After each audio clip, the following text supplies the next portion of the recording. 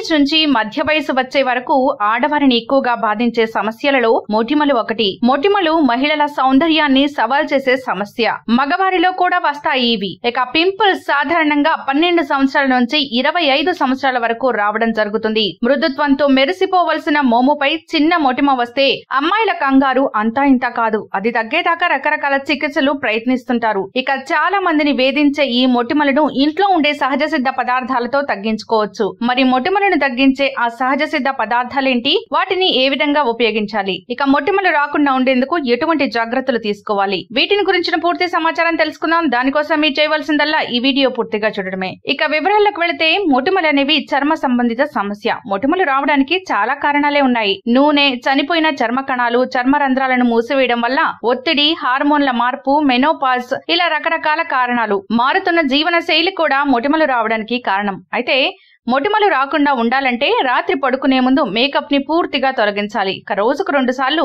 ముఖాన్ని శుభ్రపరచుకోవాలి. జిడ్డు చర్మం ఉన్నవారైతే ఎక్కువ సార్లు శుభ్రపరచుకోవాలి. ఇక అదే విధంగా ముఖాన్ని శుభ్రపరచుకోవడానికి సబ్బు వాడకూడదు. సబ్బు వాడడం వల్ల ముఖం పొడిబారుతుంది బ్యాక్టీరియా వ్యాపించడానికి ఆస్కారం ఉంటుంది. ఇక సూర్యరశ్మి వల్ల చర్మం దెబ్బ తినకుండా ఉండడానికి సన్ స్క్రీన్ లోషన్ ఉపయోగించాలి. ఇక వాటితో పాటు ఆరోగ్యకరమైన ఆహారాన్ని తీసుకోవడం ద్వారా మొటిమలు రాకుండా నివారించవచ్చు. ఇక ఆహారం విషయానికి వస్తే ఆకుపచ్చని కూరలు బచ్చలి పాలకూర వంటివి మీ రోజు ఆహారంలో ఉండేలా చూసుకోవాలి. వీటిలో పుష్కలంగా ఉన్న విటమిన్ ఏ యాంటీ ఏజింగ్ ఏజెంట్గా పనిచేస్తుంది. అంతేకాకుండా జీర్ణ వ్యవస్థలో ఉన్న బ్యాక్టీరియాను విష పదార్థాలను బయటకు పంపిస్తుంది. ఇక పసుపు. మొటిమలను తగ్గించడానికి పసుపు చాలా బాగా ఉపయోగపడుతుంది. చర్మ నిగారింపుకు కూడా పసుపును వాడతారు. పసుపును ఆహారంలో తీసుకోవడం వల్ల మొటిమలను కలిగించే బ్యాక్టీరియాను విష పదార్థాలను బయటకు నెట్టివేస్తుంది. ఇక క్యారెట్. క్యారెట్లలో విటమిన్ ఏ సమృద్ధిగా ఉంటుంది. అందువల్ల రోజువారీ ఆహారంలో భాగంగా వీటిని చేసుకోవాలి. ఇక సాల్మన్. వీటిలో omega three fatty acids proteins ఎక్కువగా ఉంటాయి. ఇవి మొటిమలను నివారించడమే కాక నొప్పి వాపును తగ్గిస్తుంది.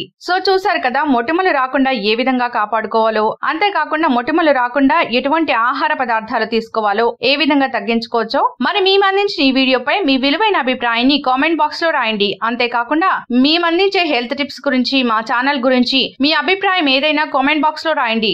ఈ వీడియో కనుక మీకు నచ్చినట్లయితే లైక్ చేయండి మీ వారందరికీ షేర్ చేయండి. మరిన్ని ఇంట్రెస్టింగ్ అప్డేట్స్ కోసం మా ఛానల్ను తప్పక సబ్స్క్రైబ్ చేసుకోండి. ఇక మేము అందించే హెల్త్ అప్డేట్స్ ఎప్పటికప్పుడు మీ మొబైల్ ఫోన్లో నోటిఫికేషన్ రూపంలో పొందాలనుకుంటే గంట సింబల్ ప్రెస్ చేయండి. Thanks for watching